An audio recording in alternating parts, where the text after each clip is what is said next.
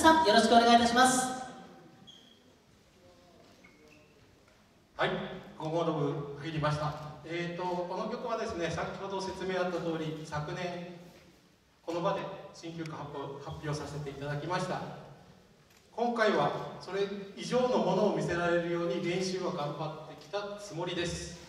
緊張しないで頑張りましょう。よろしいですか？それでは参ります。